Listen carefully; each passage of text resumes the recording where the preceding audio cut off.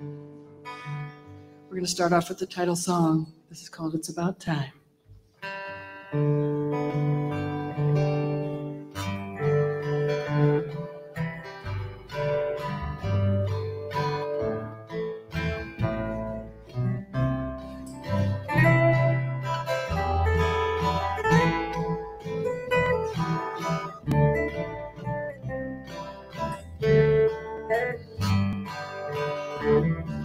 It's about time to go make some coffee. The lights rising up in the sky. The wind is just starting to rustle the trees, and the birds are just starting to fly. And of all of the things that surround me, there are few more important than this. The words in my head and the tune rolling round. It's that something I'd so hate to miss. It's about time I brought you the love song. It's time that I opened that door. And as it falls open, my heart flies to you as I couldn't love anyone more. All these years and it's come down to you. Together we know this is real, this is true. Loving is what we are sent here to do. All of these years comes right down to you. This love song has taken forever, as only you possibly know. Past the losses and hurts and the years that roll by, as the twilight of days always goes. Like a hot cup of tea in the evening, with the honey from hard-working bees. The love ever soothing, you right beside me. This grace falls upon me with ease.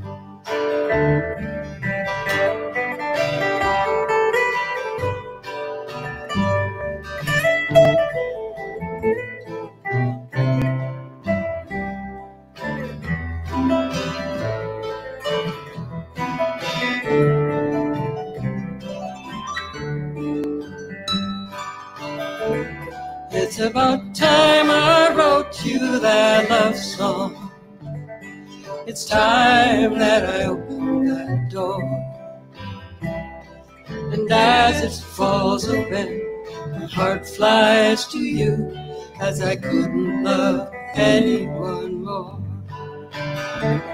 It's about time I wrote you that love song. It's time that I opened that door. And as it falls open, my heart flies to you as I couldn't love anyone more. I couldn't love anyone more.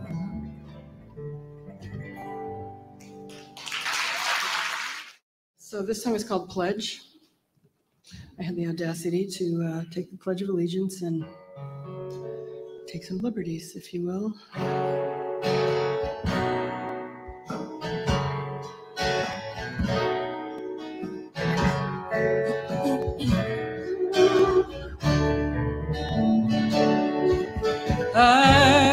Pledge allegiance to our hearts, the united parts of our bodies, sensuality,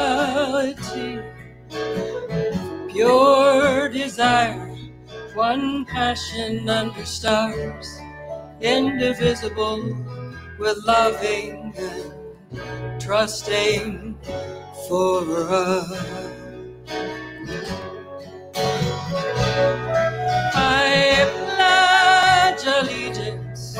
To all my beloveds in the collective love of community and to our survival, which has to stand one nation under love and commitment to a stronger world in our universe.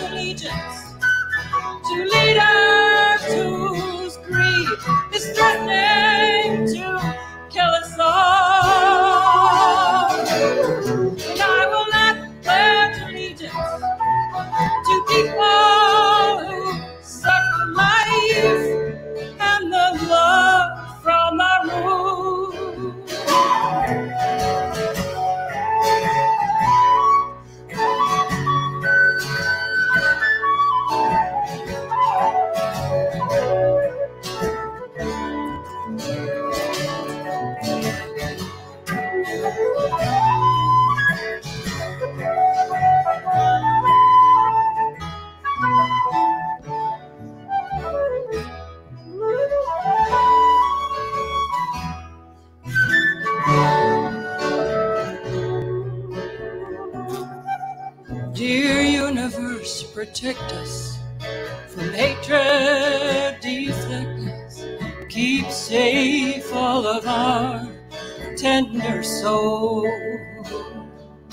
For loving and giving are the gifts you have left us. We are the keepers, the writers, and the seekers. All of us children of the stars.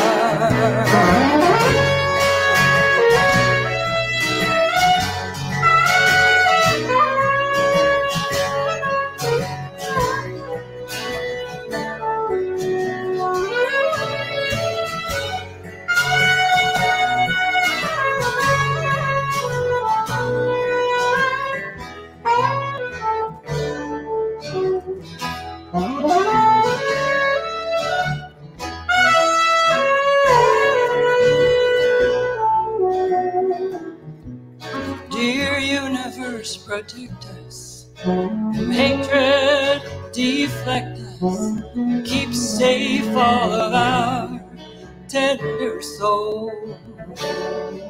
For loving and giving all the gifts you have left us, we are the keepers, the writers, and the seekers.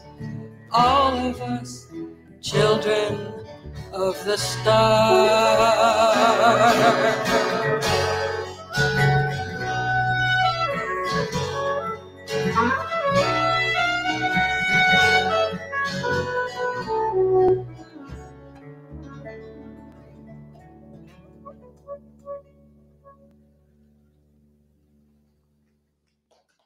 The song is called Cracks in the Sky.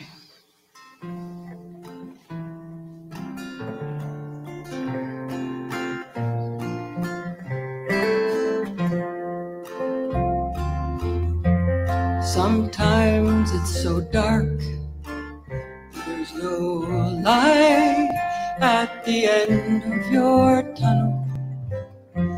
Sometimes it's so cold, chilled to the bone. Sometimes you're so sad, you've lost the best thing that you've ever had. Sometimes it's so hard,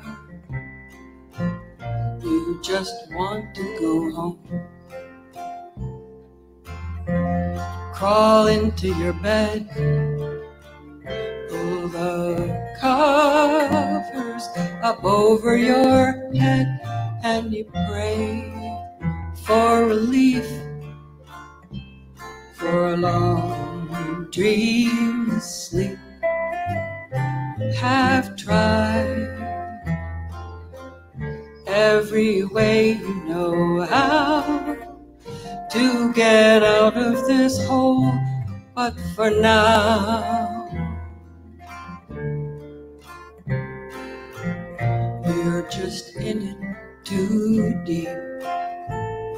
So keep your eye on the cracks in the sky where an angel might slip through.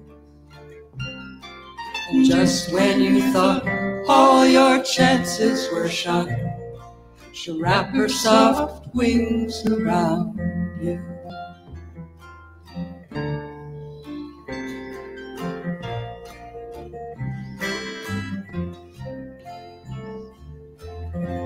Her warm hand on your back, just a few words, or the soft gift of silence sit by your side and she'll wait for you to mend in the end. There's no medicine that can heal like sweet kiss of kindness. It seals up that dark hole so you can start over again. You belong to the band of the broken-hearted. They will open their arms to you. It's a blessing and a privilege to keep their company. You will learn this too. So keep your eye on the cracks in the sky where an angel might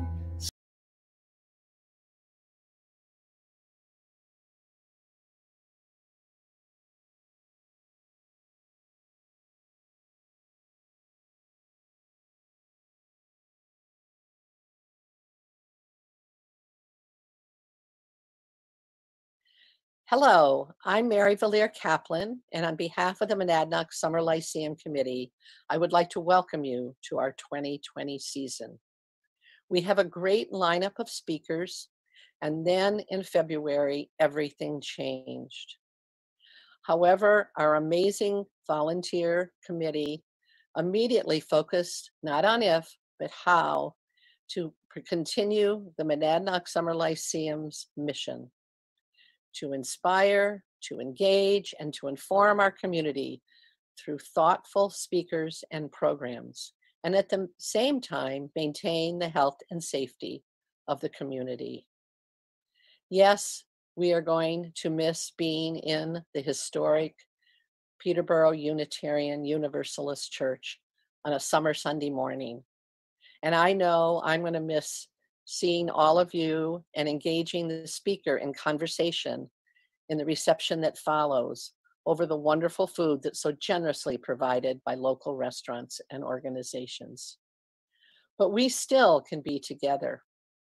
We can talk about the program afterwards during the week with our friends and family. And you can submit questions, and the speaker will provide you answers. However, they're going to be in electronic format this year, rather than the yellow card that is run forward by our able ushers during the question and answer session. All of our speakers and moderators said, let's do it. Our sponsor said, we're 100% behind you. And so the committee has spent this spring working extremely hard and taking all of the traditional elements of the Lyceum that we know you love and converting them to the live stream program that you are about to experience. We hope that you enjoy it, and we look forward to being with you again next year in person. So go get a cup of coffee, cup of tea, or whatever. Find a comfy chair on your porch or your patio and enjoy this today's speaker. And when you are finished, we would appreciate your going to the website or go to our Facebook page and let us know how we can make this experience even better for you. Leave us your email address if you're so willing so we can keep in touch. Also, we'd love to have ideas from about speakers and topics for next year. And we would uh, just appreciate if you would stop and make a donation on the website to the Lyceum to sustain this wonderful Monadnock summer tradition.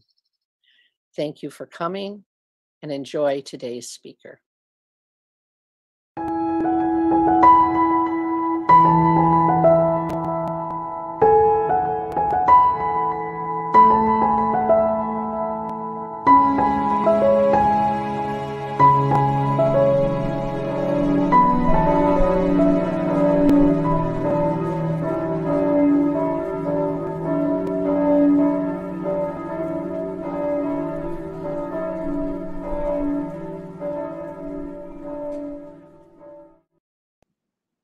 Good morning.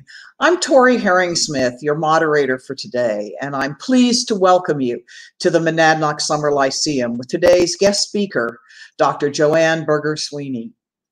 Before we get started, I'd like to thank today's musicians, Wendy Keith and her alleged band, for recording the music many of you enjoyed while waiting for the live broadcast to begin. Also, thank you to the Reading Foundation for generously supporting today's event.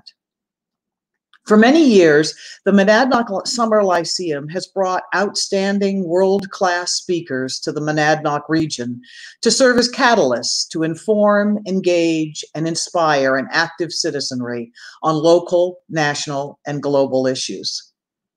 The Monadnock Summer Lyceum is supported primarily through contributions from our audience. We deeply appreciate your donations, which this year may be made on our website or by mailing your donation. During this challenging time, we need your help more than ever. Today's talk is being recorded and will soon be available as a podcast and as a video on our website, monadnocklyceum.org. The talk will also be rebroadcast on WSMN next Sunday at 11 a.m and on WUML this coming Wednesday at 10 a.m. As is the tradition of the Lyceum, after the presentation, our speaker will answer questions from the audience. Please submit your questions by using the comments section on Facebook or YouTube, or send them to our email, monlyceum, M-O-N lyceum, at gmail.com. After the broadcast, you may provide feedback on today's program, suggestions for next summer's speakers, or join our mailing list on our website. Our speaker today is Dr. Joanne Berger Sweeney. It is such a pleasure to be introducing my friend Joanne, the 22nd president of Trinity College in Hartford, Connecticut. For the past six years, he has led this distinguished liberal arts college with wisdom and foresight. She has, of course, instituted many new programs at Trinity, and I'm not going to describe them all. But when I think of Joanne, I associated her, I associate her with expanding Trinity's outreach into downtown Hartford. She's transformed Trinity from a relatively isolated castle of learning into an effective community partner. Working with a local community college, Trinity faculty and students endeavor to identify and solve challenging problems identified by the city's residents, ranging from absentee landlords to youth homelessness. Before coming to Trinity, Dr. Berger Sweeney served as Dean of the School of Arts and Sciences at Tufts and was a member of the Wellesley College faculty for 13 years. She holds an undergraduate degree in psychobiology from Wellesley, a Master of Public Health focused on environmental health sciences from Berkeley, and a PhD in neurotoxicology from the Johns Hopkins School of Public Health. A pretty admirable record. Dr. Berger Sweeney serves on many boards in the Hartford region and was elected to the very prestigious American Academy of Arts and Sciences in 2018. We are so fortunate that she has found the time and the energy to speak to us today on speech, freedom, and inclusion on college campuses.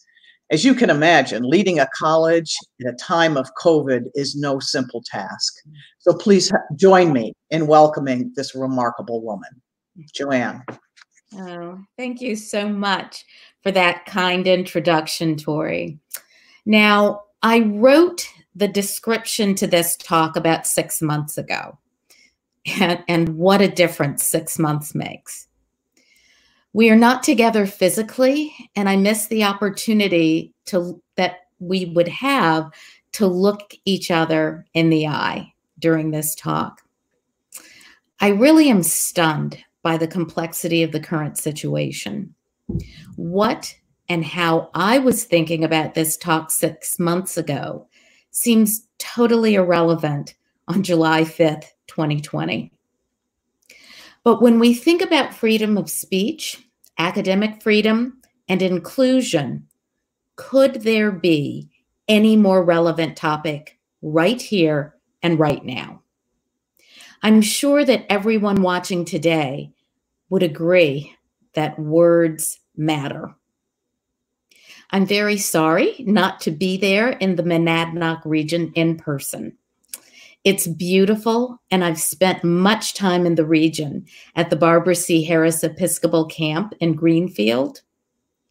And also, if I'm not mistaken, Mount Monadnock was a subject of inspiration to Henry David Thoreau, said to be his favorite mountain.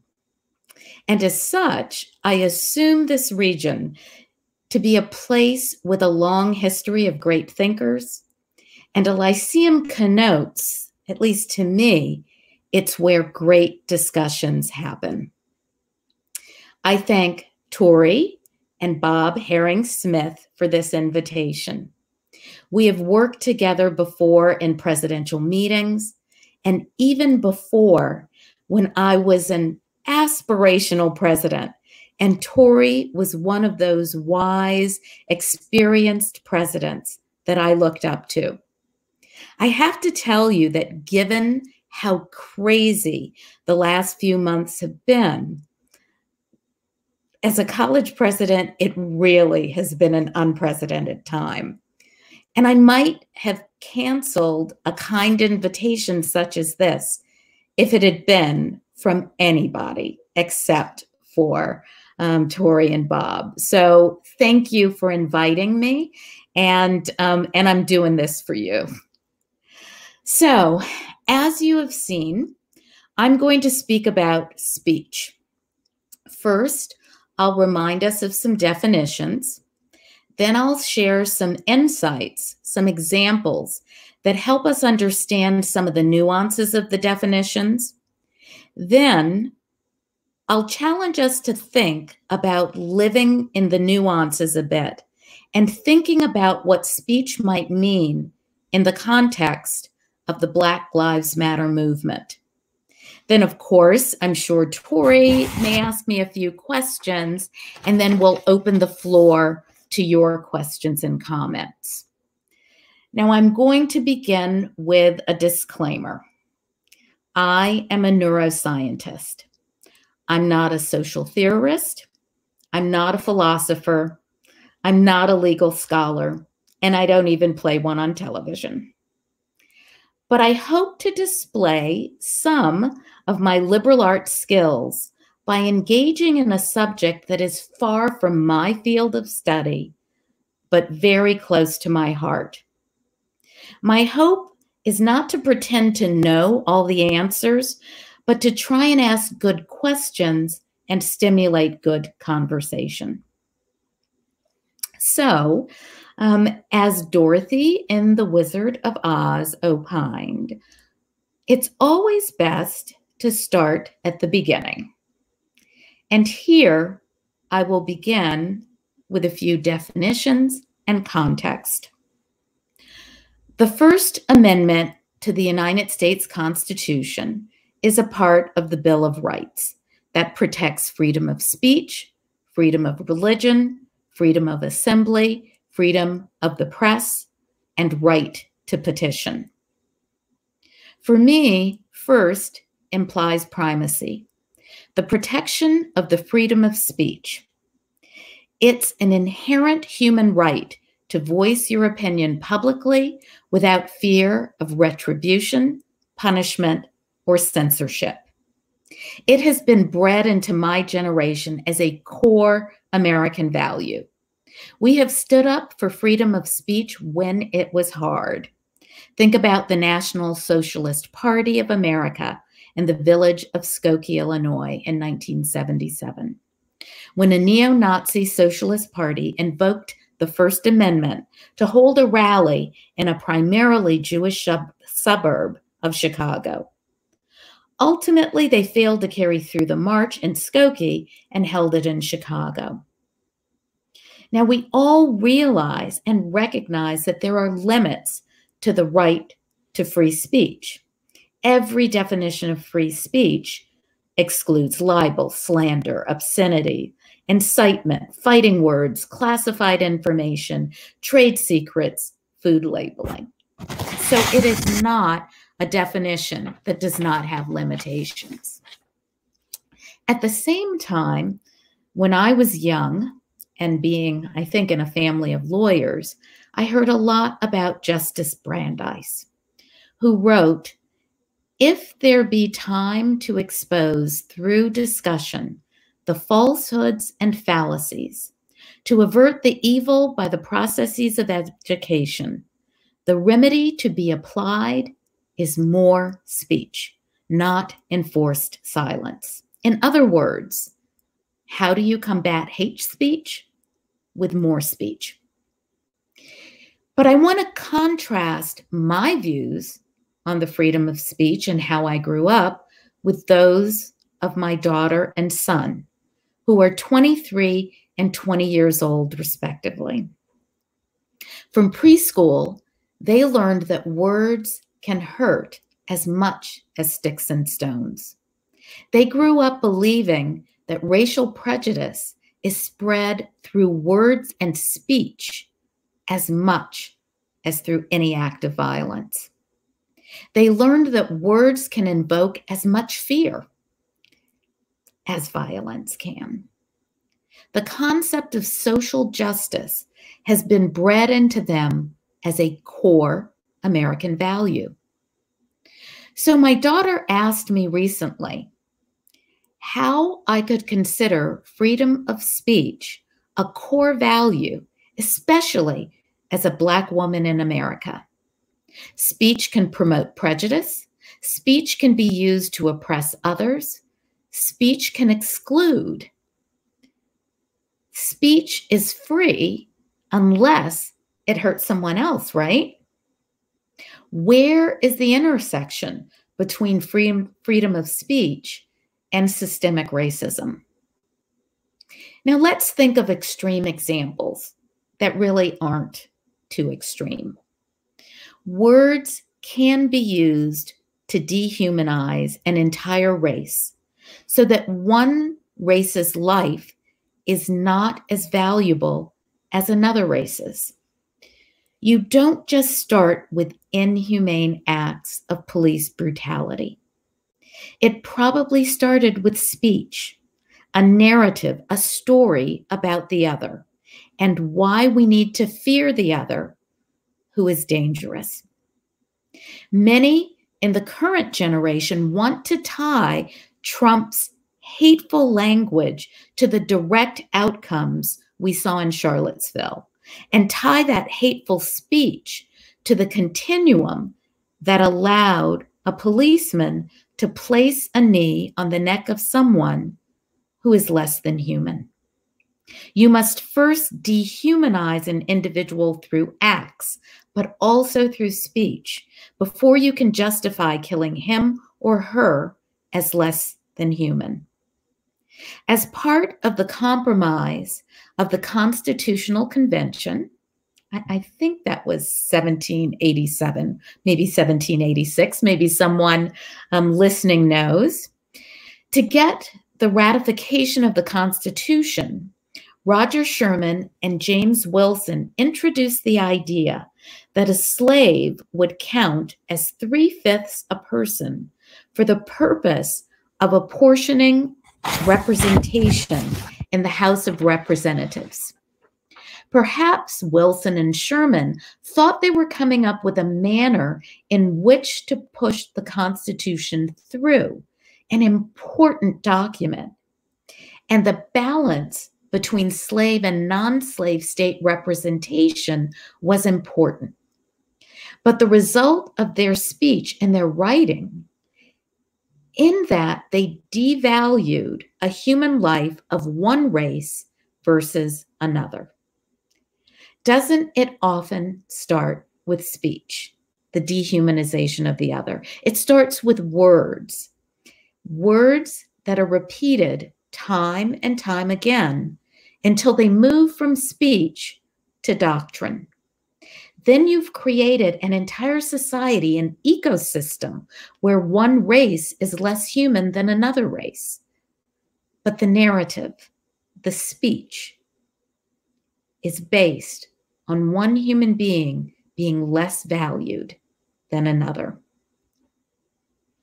A couple of weeks ago, my co author, Sonia Cardenas, and I reminded our readers in a recent op ed for the Hartford Courant that a policeman placing a knee on a black man isn't just a horrific incident that outrages a nation.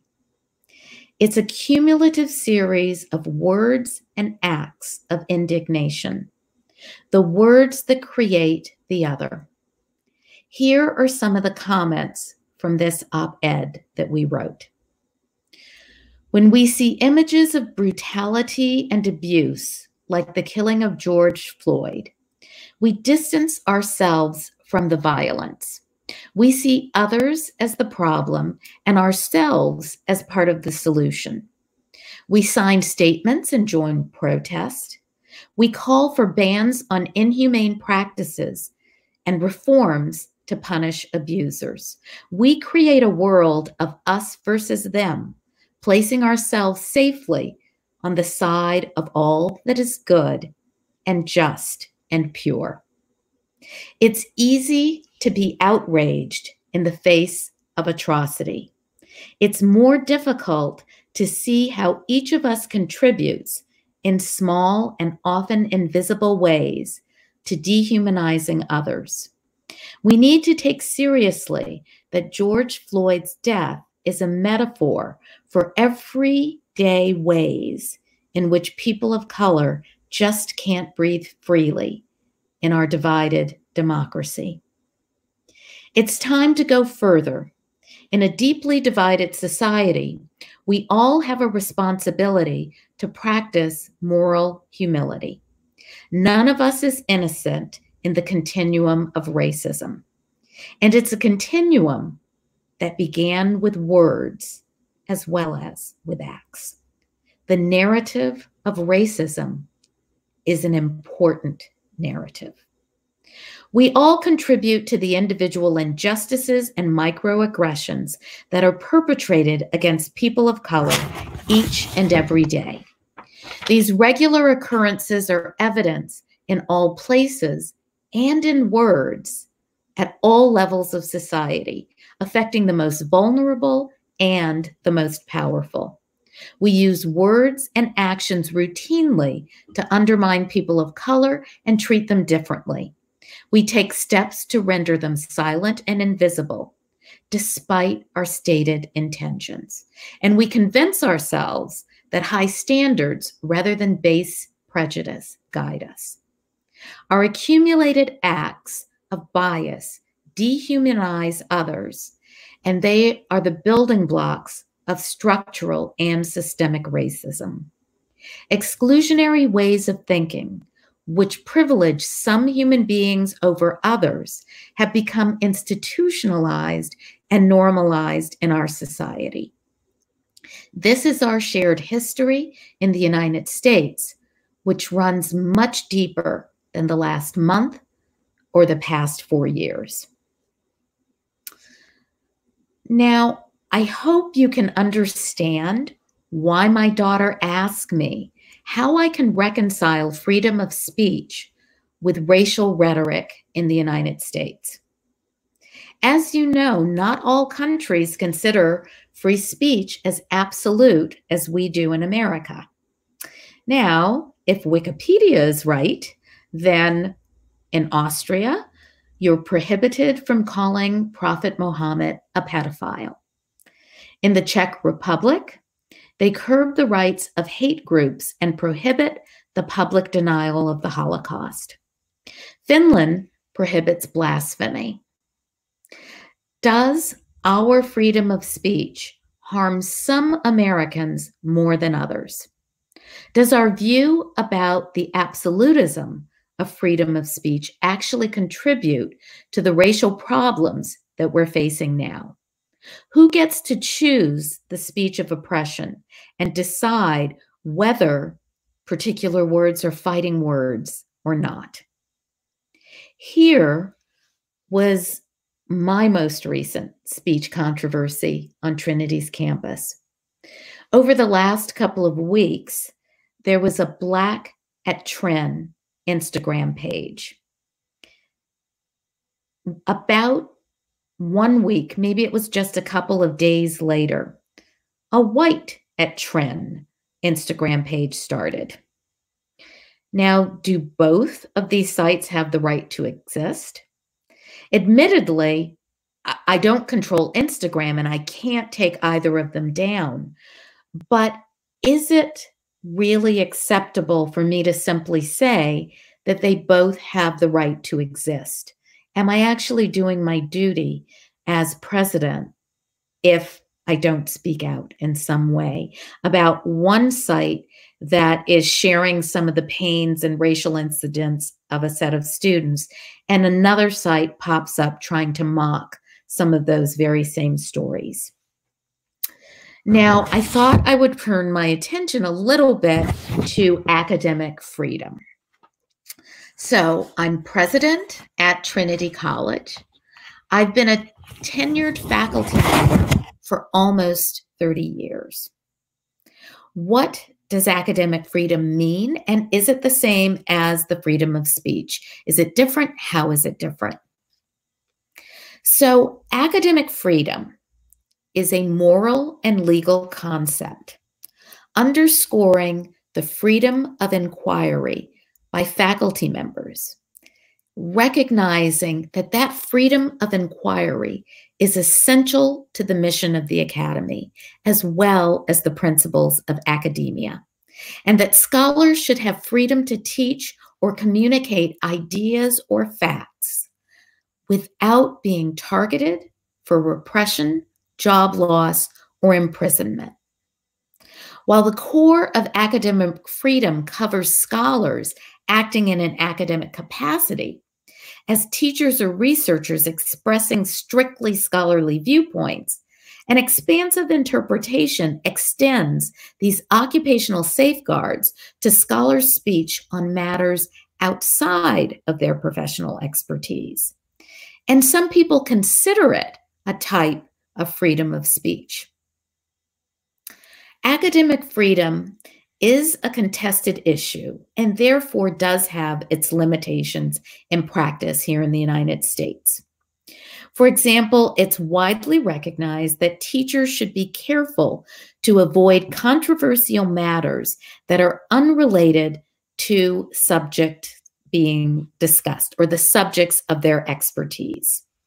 When they speak or write in public, they're free to express their opinions without fear of institutional censorship or dis uh, discipline, but they should show restraint and clearly indicate that they are not speaking on behalf of their institution. An interesting aspect of academic freedom for particularly those who consider themselves absolutist are that the ability of a faculty member to control not just what they teach, but almost every aspect of their teaching environment.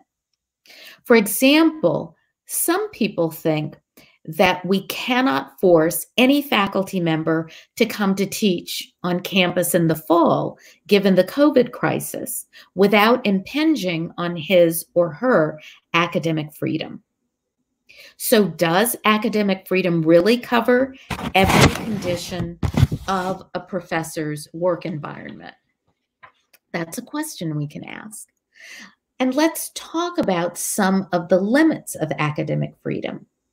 For example, it preserves your right to speak in class, and speak about controversial subjects. However, you can't teach that the world is flat if that is not an agreed upon doctrine by geographers. Now, can you teach creationism in a religion class? How about a biology class? Here's another example of a recent controversy about um, freedom, academic freedom. And that is whether faculty members should be required to give trigger warnings or not. I always thought of an example from my classroom as a science professor. In my upper division neuroscience courses, we would do animal surgeries in some of those courses. We would implant small devices in the brains of rats, and the rats would survive, and we would do experiments. Can you imagine that I wouldn't tell my students that we were planning to do work on live animals in a particular class? Some of them may not want to do it. Um, I had to make sure for example, that students ate a meal before attempting the surgery um, because I have seen people pass out in situations like this. Is this a trigger warning? Don't I have the right to make sure, and don't my students have the right to not participate in those kinds of surgeries if they don't want to? Clearly, these are complicated issues. So, where does this lead me?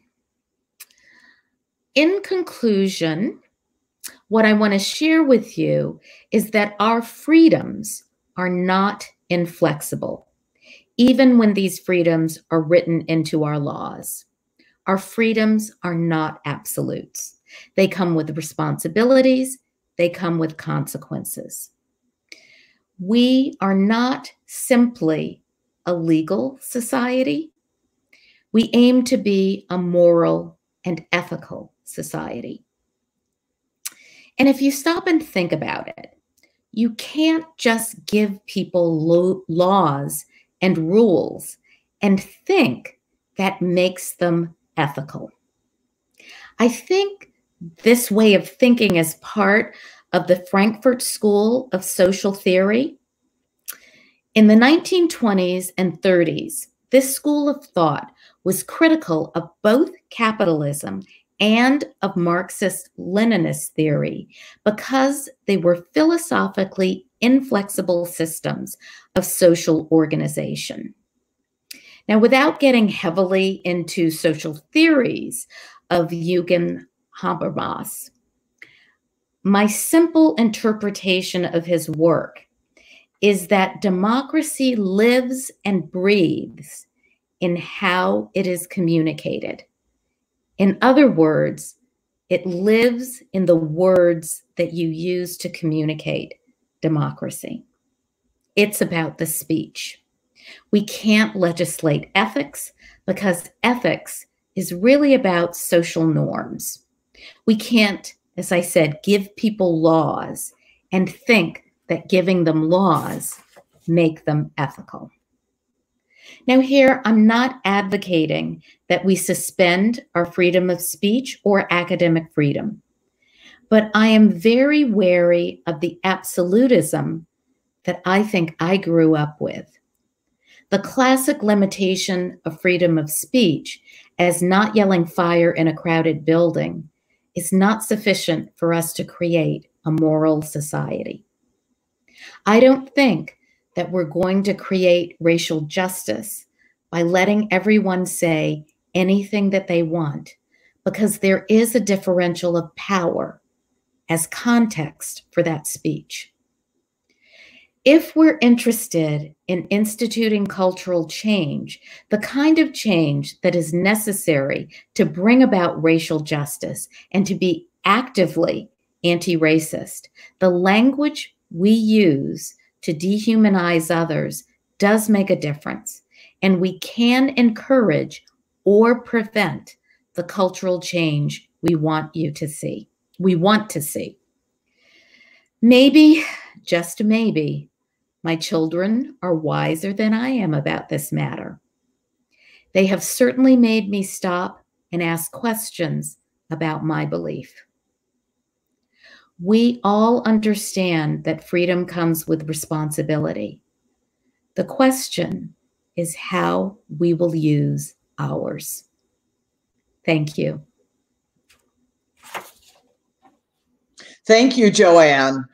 What a pleasure to hear you talk again. It's been a while. well, we have lots of questions coming in, but I thought I'd start off by really asking you a little bit more about the confrontation between black at Trin and white at Trin. Mm-hmm. Um, you aren't the czar of Instagram. and so, as you say, you couldn't take them down. What did you do? Right. Um, actually, I ended up writing a letter to the community um, along with our you know, kind of dean of students and our um, vice president. Well, it's really a vice president position for enrollment and student success, and our vice president of diversity, equity, and inclusion, and said we weren't very proud of, in response to one group trying to share their pain, even if you don't agree with everything that was said, to create an alternate mocking site just didn't make us very proud. So we did end up um, not eliminating people's right to freedom of speech, but saying that we supported one of these sites more than we supported the other. Interesting. Did you have a response from Of course we did. Was everybody happy with what or how I said things? Of course they were not. Um, but you know it it was something that the three of us decided we needed to do. And then um, this past wednesday i wrote a longer more detailed uh, speech or, or, detailed letter uh, about um, kind of my beliefs and why i was actually hopeful in light of what was happening in the country and how i hoped that this was a platform for real change in society. And I listed the things that I committed to do in response to what we were seeing both on campus and outside of campus. And then our board of trustees the next day wrote a letter supporting my letter. So that's mm-hmm. As I listen to you and I think about your tom- comments about social norms that really mm-hmm. social norms, as much as laws, um, influence our sense of not only legality but ethical behavior. Right. So, is that your method as an educator of defining social norms? Absolutely. So, I thought it was important, um, kind of how my letter started was listing the things that I believe in. That's great. And, um, you know, I'll tell you one of them, the first one. So for me, primacy was higher education has the power to transform individuals and to transform society. And particularly those of us interested in liberal arts education, we have it demands a sense of humanity. It, desa- it demands an understanding, a compassion to listen with an open heart, empathetically imagining what it's like for someone else to experience the world and then to act upon it. Interesting. And then I have a number of other principles. Um, but eventually, I say I'm hopeful because I believe fervently that higher education can be in the forefront of studying and addressing systemic racism in the United States. That sounds great. Well, I hope you get some responses to that. One of our viewers, as a matter of fact, have, has asked, would you share our letter with the community oh. after the broadcast? Absolutely. I will, Tori, I will um, email you a copy because it went out to the entire Trinity community, not just our on-campus community, but all of our key volunteers, all of our alumni. Um, and I just shared with them, this is what I believe, and this is why I'm hopeful. That's great. Well, I know that at, at least one viewer, and I'm sure many more, would love to um, love to see your comments. That would be great. Um, we do have a number of questions, and um, one asked also about an issue you brought up in your speech, which was faculty returning to campus. Mm-hmm. Did you decide that was a an issue of academic freedom? How did you deal with that? What is Trinity going to do? Yeah, well, you know, I decided whether it was a matter of academic freedom or not, that we needed to give people the right to determine whether they should come back to campus or not. And because it is possible to teach many courses in a remote fashion, I decided that it wasn't worth forcing people to be on campus. I think I think our faculty members will make that determination based on perhaps the type of course they're teaching. What I asked was that, or what, you know, I asked along with the, the dean of the faculty is look department by department and mm. try and make sure that each department has some remote classes and some in-person classes. But I did say if people are going to teach remotely, they had to undergo training over the summer to oh, be able to do it well. Because for me, it's more important that it's a high quality teaching experience than whether it is literally online or not online. That sounds great. And did some faculty agree to be trained? Oh, I, I, I think we said if you are planning to teach remotely, that no choice. There, I, you know, I don't think there can be a choice to that. Yeah. We're going to have to have certain standards for being able to offer those courses. But I understand that it, and it's not just people who are of a certain age or have underlying health conditions. There are also some psychological barriers to who might want to come back to, to campus. And I would say that's not just for faculty members, that's also for students. And I wanted to make sure that our staff understood that if there work could be done from home, that we would engage in those discussions too. So, interestingly, um, even though I'm not sure I would qualify that as an issue of academic freedom, it just felt like the right thing to do. Yeah, yeah. Wonderful. Um, we have uh, we have so many questions coming in. I want to to get to them. Um, one a broad question that sort of resonates through others. It says, "Do we need laws to prohibit racism, or will cultural change be significant or be sufficient?" Sufficient. sufficient. Yes, it sure it'll be significant, but right. sufficient. Uh, um, laws. Fundamentally, I think we need both. I think we do need laws. I mean, I think the laws that were passed here in the United States in the 1960s made a difference. I think voting rights and laws make a difference. I think the laws about ending apartheid in South America make uh, South Africa, sorry, um, you know, absolutely make a difference. But they don't, in and of themselves, change behavior, all behaviors um, they do help to institute, I think, societal norms. Mm-hmm.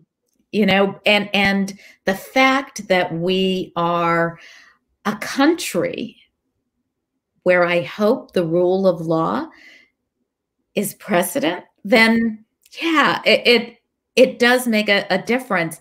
Now, I will share with you, as I think I might have said in just one line of uh, my speech. My father um, was a lawyer, and his first job out of law school was with the Urban League in Los Angeles. My two brothers are lawyers. Um, I have countless um, cousins and uncles and relatives. And I think so many of us, excluding me. So many of them went into the legal profession because they believed that changing laws was actually going to help reduce prejudice and improve racial justice in the country. That is the way that my my family has chosen to address many of those issues. But I think what I wanted to say is that alone can't do it. Because you see with all of the changes in laws that had been made, there's now there is something of a rhetoric in the US all the way, you know, from the top of our country that is changing people's interpretations of those laws and it's changing the ways that people are acting. And one of our questioners gets to that um, and says in discussions with the under 30 generation, mm-hmm. um, they seem to react to insensitive or nasty speech not as incitement to violence, but as violence itself. Itself. Ex- thank you for uh, whoever said that that i think that's what i was trying to articulate that is beautifully said and how do you how do you respond to that especially in an educational institution you know I, i'm not sure i have the perfect answer what i do want to say is that it made me stop and think. I started having these discussions and arguments with my 22 year old. And instead of, I'm mom, I'm a president, I have a PhD, I'm a professor. Obviously, I'm all right about this. I had to stop and think.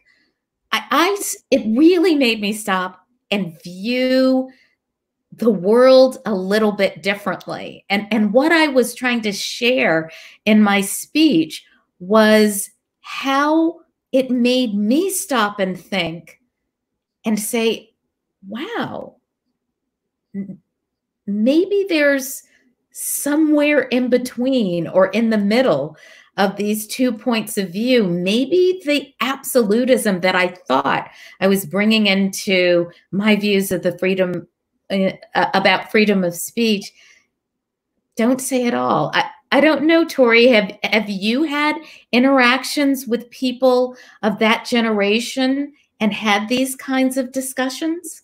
It's it really, it, it's really hard as we were talking you know a couple of weeks ago I, and you asked that question so i began to think uh, being retired three years it's amazing how much you can forget um, but i do mm-hmm. remember one of the toughest things that i dealt with on the campus was an incident it, which was in which exactly as this viewer says uh, students viewed something as an act of violence Mm-hmm. Uh, what happened was our president of the student government, who was a white male graduating senior, had a little bit too much to drink one night. How unusual on a college campus. Um, saw a poster that was advertising an event for Black Life or Black Light Golf apparently play golf and black, I have no idea what black light golf is, but he took a pen out and, and the spokesperson or the advocate for this was Tiger Woods. So there was a picture of Tiger Woods on the poster. And so he took his his pen and he wa- he blacked out light, so it said black golf. Then took a picture of it, posted it. Well, it was a very tense time in, in racial mm-hmm. relations. What time isn't these days? Right. Um, and so I had to go to him, and he was an extremely successful student who had just academically and socially, who had just won a mm-hmm. number of honors, and tell him that he couldn't do that as a leader, as the president of the student government. Mm-hmm. That that he was in a different the, the way the response he would have to make would have to be much more dramatic than what a student who didn't hold that position or have earned those honors would have to do. In other words, he was a model. Mm-hmm. and he had to take that responsibility. Your last line about, you know, freedom of speech is responsibility. Right. So I told him he had to resign. Wow.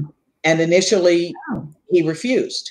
And he said he thought his argument was a good one. He said he thought he could do more by remaining and leading efforts to talk more about racial issues on Mhm. campus. I said I accepted that, but he could do that not from the current position. And it took a long time and many discussions with his parents. And he did eventually resign. And then he went to law school, but he took a year off Mhm. because, of course, that disciplinary action appeared on his transcript and had to be reported to law schools. Right. Um, I then wrote a letter of recommendation for him Mhm. and talked about the incident and and what he had learned. Wow.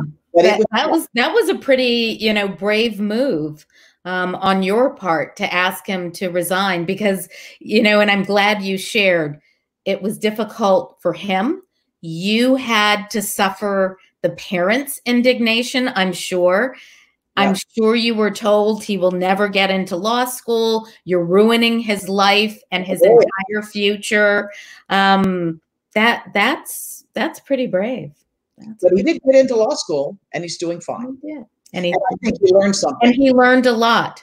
Yeah. I think of the, I've read in the press recently about many um, students who've been admitted to certain institutions, then posted racist comments on their social media and have then been, had their admission rescinded. rescinded. Exactly. interesting. I I heard about that. You know, I'm happy to say I have not had to do that or face that. Um, but yes, I, I have heard in other institutions just recently. Yes. Mhm. Yeah, I thought it was interesting that I think the president of one of the universities that had done just that said freedom of response, uh, freedom of speech is not freedom from consequence. From consequences. Exactly. I thought that was very good. One of our viewers wants to know if you've had freedom of speech issues with the student press. Um, not so much with our student press. Uh, they, the role that we have tried to take with our student press is to ensure that what they say, they can back up. I, I love how quickly many of those in our student newspaper write sometimes they don't always follow up and ensure that the facts are correct or that they have you know done their research so i find most of the issues that we've had with our student press really are about fact checking and say you can express your opinions but make sure that you've backed them up um, Yeah. with information but it was it was uh, difficult and challenging because during this whole um, covid crisis and pandemic where we made it clear that we were having budgetary issues they decided to go to our 990 forms publish my salary and say what salary cut they thought i should take based on what they had heard from one or two other um, you know presidents. So did i like it no you know did, did i like so publicly um you know having that in the student newspaper? Did i even question in my mi- own mind since i hadn't seen that about any of the white officers of the college whether there was some interaction um, you know between race sexism and you know kind of displaying salaries but i certainly wasn't going to stop them from um, printing it Yeah, yeah. Sounds like a wise move. I want to move back actually to the very first question that was asked, but it was so broad, I thought we'd deal with some of the others first. okay And the question was How have the attitudes of incoming students about racism changed um, over your career? And what challenges remain? And how do you approach those challenges as an educational institution? Wow. Big question. So that I- is a big question. And, and I might have to ask you to like ask it of me in pieces. okay. So so- the first part is how have things changed? Um, so one thing that I will tell you is over my, you know, almost 30 year career as an educator, there is no question that at primarily white institutions, and you have heard that I'm currently at Trinity College. I was at Tufts University, their School of Arts and Sciences before that.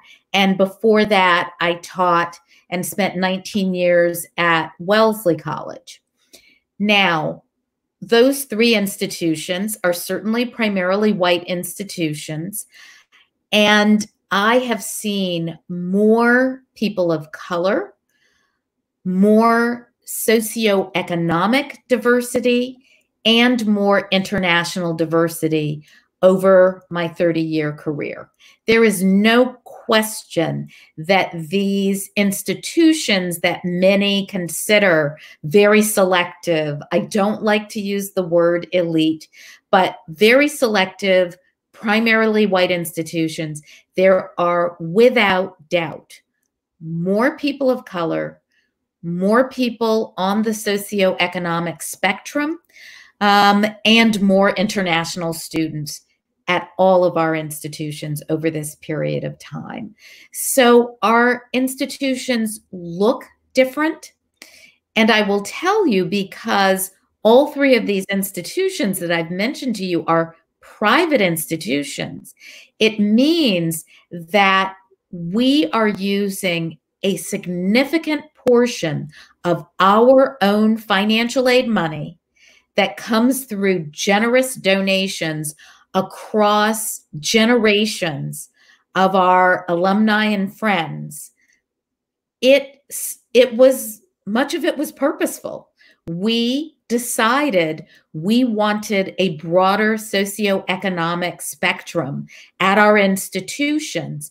And because of the demographics of the United States when you had a broader socioeconomic um, spectrum, when you started giving out more financial aid, you indeed had a broader racial spectrum.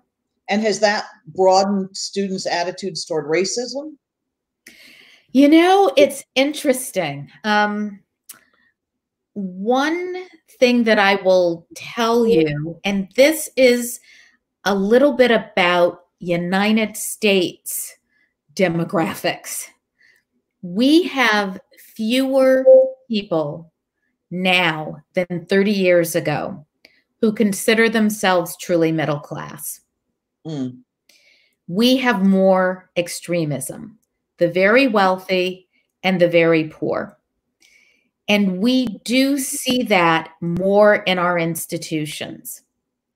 That financial aid goes to people who are on the very needy end of the spectrum and then the other end of the spectrum are those who don't need um, financial aid. Fewer and fewer people fall into what would be middle class.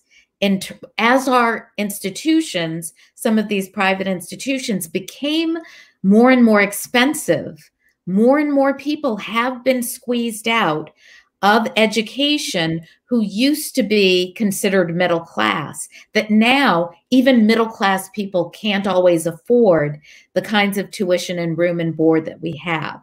So what me what it means is that our institutions have become instead of one might think of, you know, bell-shaped where the majority of people are middle income in the middle, it's become really more barbell and if you think about it, if you have a more barbelled population, there's less to bridge the divides in between, and there is more tension. And the more extreme our country becomes socioeconomically, the more you see that displayed in our institutions of higher education, and the bigger the gap in between.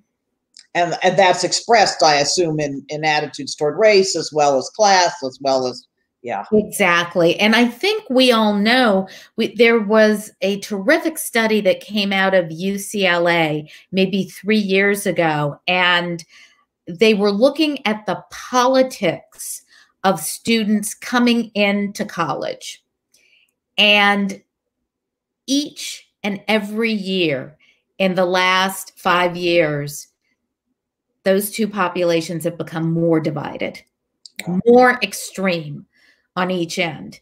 And the more extreme and the less you talk about commonalities, the more stark everything becomes in our campus, on our campuses. And um, one of the things we tried to do at Trinity to counter this was start a series called Bridging Divides.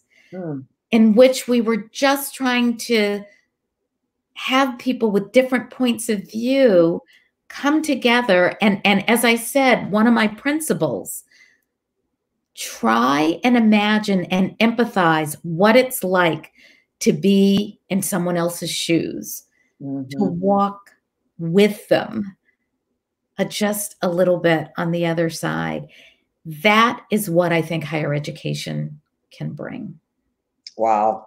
I mean, that's why I'm hopeful. And that's why I'm in higher education. That's great. I, I, I really want I want to end on that, but we have one last question that I don't want to overlook because okay. two people have asked uh, essentially about how you deal with speakers on campus um, you know, how do you uh, prepare for controversial speakers like Charles Murray at Middlebury, who, who is allowed to speak on campus? So this will be our last question. Right. And we have not restricted anyone from speaking on our campus. Period. And what do you do if students come in and interrupt? Right. Is it well, there? We have certain guidelines. If we think someone is going to be highly controversial, um, which we which happened, I think, about two years ago, we had to set up um, our campus safety. How will the person exit? Um, I know some people have gone to the extreme where someone is in another room giving the speech, um, and you know, so that they are allowed to to continue their speech. Now, that being said, I that is how we we have handled it in the past. I need to think about that. I need to think about how to deal with that in the future. Um, and and it does depend on where you are. We are here in the middle of hartford connecticut in a city. How do you deal with that let's say in monadnock region in new hampshire? Do you use all of the police force of new hampshire to yeah. address a speaker that would be on a campus somewhere in New Hampshire. Is that fair? Is that right? But imagine if it was someone controversial and you've seen some of these things turn um, a bit to, to more violent behavior. So at what point does the inst- academic institution have a responsibility to the town, the neighborhood, the state in which they live in terms of resources? All of these things are very complicated issues. And i as i promised from the beginning i was not going to have all the answers. Well i think we've gotten a small window joanne into the difficulty of being a college president today. Yeah. i want to thank you so much for bringing your really very um, insightful comments about freedom of speech to us. I know i'm left with many, many more questions. I wish we could keep going. We are at time. We are at time. Thank you. Um, Absolutely. Thank you for inviting me. And I hope this format, you know, worked. I know it's not like being there in person, but uh, I certainly have enjoyed at least the time with you, Tori. So thank you. Thank you so much. Now, our speaker next Sunday will be Jim Rooney, whose talk is entitled From Homer to Hank Williams thoughts about singing and songwriting. And I understand he's going to be playing some guitar to accompany himself. We hope you've enjoyed today's broadcast of the Monadnock Summer Lyceum. Thank you again for your support of our unique 2020 season. We hope to see you again back, back again next week.